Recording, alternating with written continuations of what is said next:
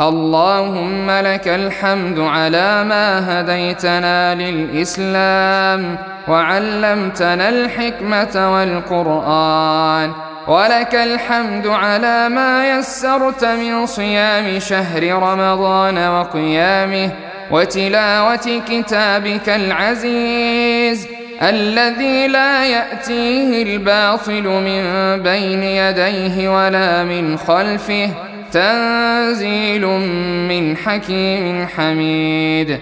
اللهم إنا عبيدك بنو عبيدك بنو إمام